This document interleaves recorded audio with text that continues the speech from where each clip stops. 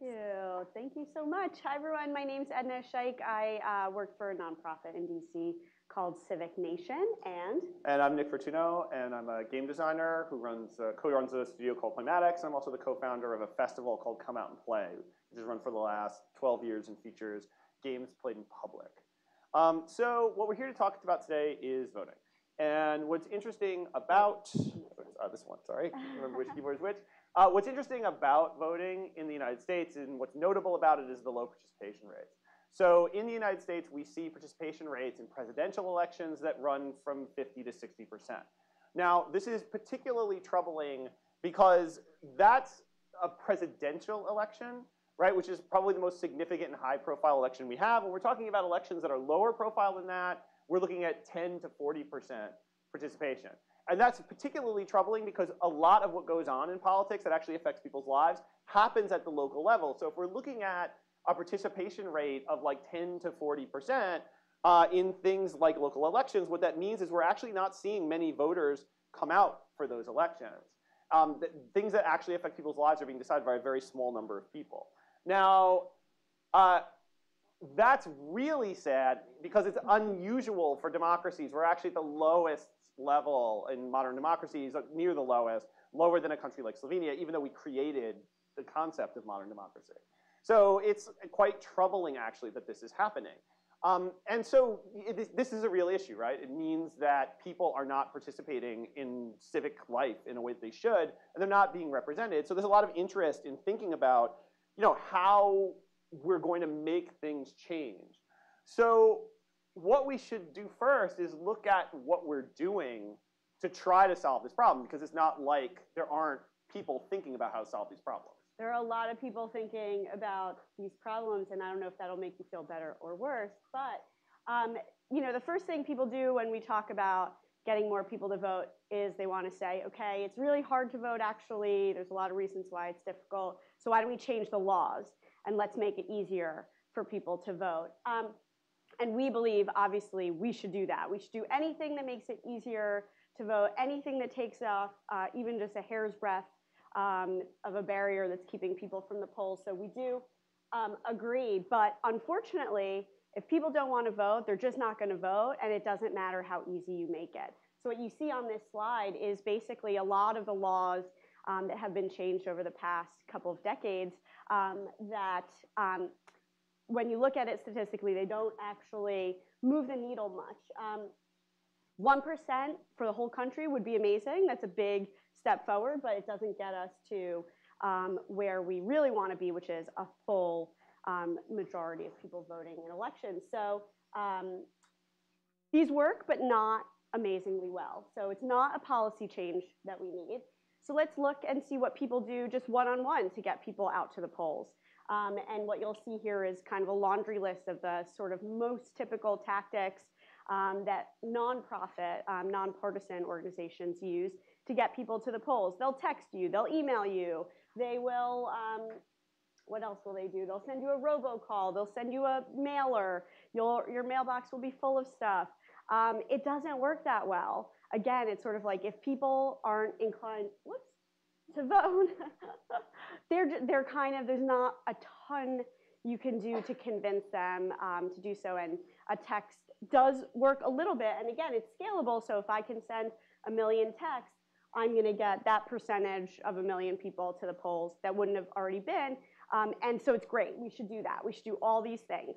Um, at the bottom of the slide, I'll come back to this idea of door-to-door, which, as you can see... Well, I don't know if you can see because it's a little dark, but it's 7 to 9%. 7%-9%. If you do a really well-done, well-trained, neighbor-to-neighbor, door-to-door canvas, you will get, Nick, yeah, thanks. Yeah, you. You will get um, a much bigger bump. The difference is it's really hard to do. You have to train people, you have to coordinate a lot of things, you have to be physically in person, you have to have lists. It's hard. So you do get the effect, Um, but you, it's harder to um, do than a text message. So, um, we'll talk more about that in a second, but in the meantime, I'll tell you, those were all nonpartisan numbers. When you're a candidate or a party or an issue, and you're talking about climate change or education or whatever else, it's gonna be worse. You're gonna get very, very little impact when you're talking about getting new people to go to the polls. um, almost no impact, and sometimes detrimental impact. So that doesn't really work.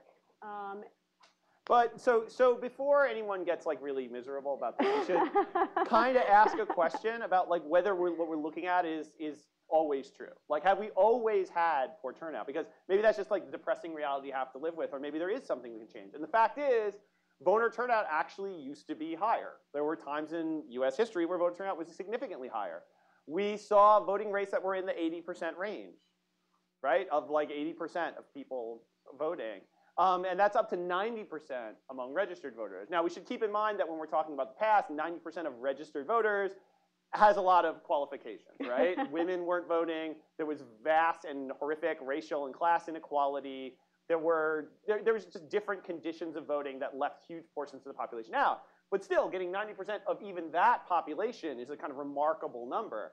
So we could ask what was different, right? And the answer would be this. This is what voting looked like.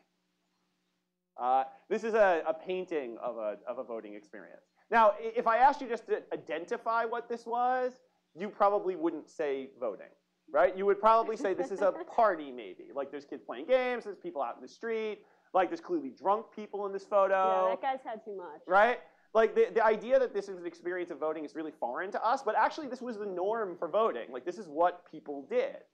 And I think what's interesting about that is it's not what we think about when we think about people engaged in an activity, right? I, I don't know. There's some weird Bluetooth interference, so this, this slide stuff is just moving around. So just like treat this as a, maybe you're a little drunk. Right? Maybe you're a little drunk as we talk about voting, which is where we want you. Um, the idea here is that like this activity isn't actually directly related to voting, right? Like no one is actually voting in the in the drunk stands with the kids playing, but this is right in front of a place where you vote. Um, and so the appeal of this isn't so much that you're voting as you're engaged in a community activity. Like it would be fun to be at this party. It would be fun to be part of this event. And that leads to kind of an interesting ramification. What if the thing that got some of these voter rates up in the past wasn't anything to do with voting itself, but the conditions of voting, right? We often talk about gamification from the perspective that when we solve a problem with games or play, we have to hone in on this really particular problem, then solve for that problem itself. But what if the problem is just a contextual problem? If the problem is getting people to show up, solving the getting people to show up problem might be as easy as just giving them something to do. And what's interesting about this is that in certain parts of the country, this condition has remained that people do celebrate around voting, and when they do, we see higher voter participation rates. And the example here is Puerto Rico.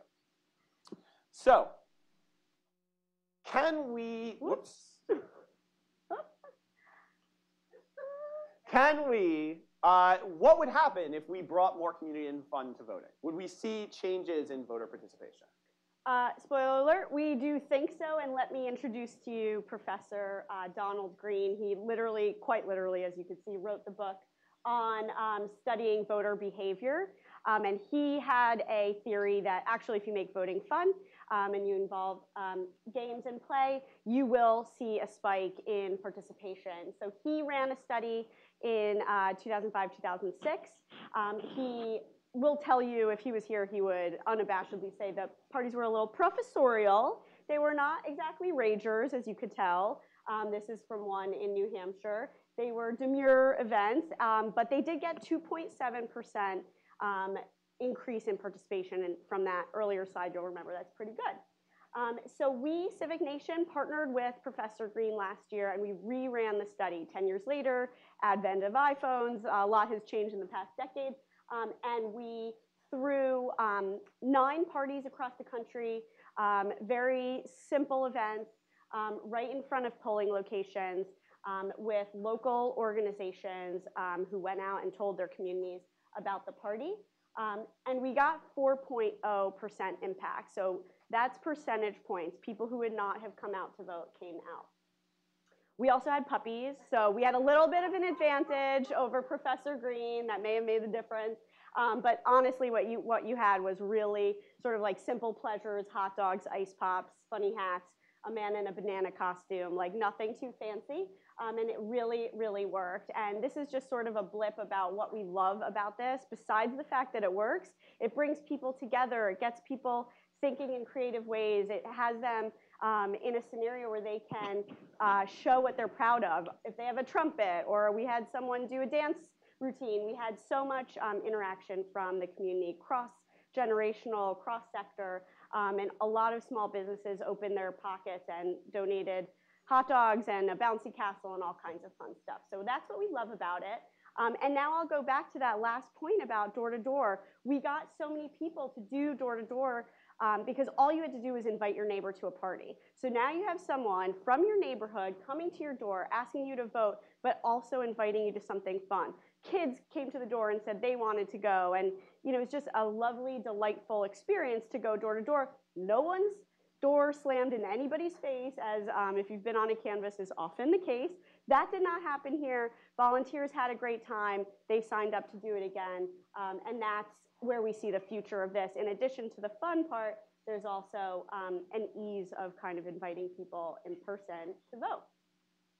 So quickly, I'll say we have big plans for this project.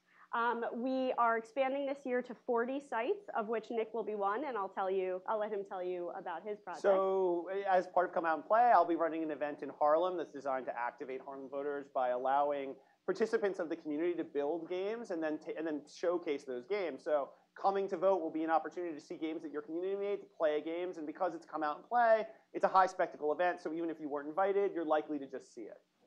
Um, and then in 2018, we're going big. We're doing at least 300 sites, hopefully up to 1,000. And we would love your help if you want to do a party, if you want to host a party, if you want to be part of a party, um, let us know, and you can meet this man. I, I don't know. We actually don't have time for questions, but you seem like you really have one. Um, well, uh, which one?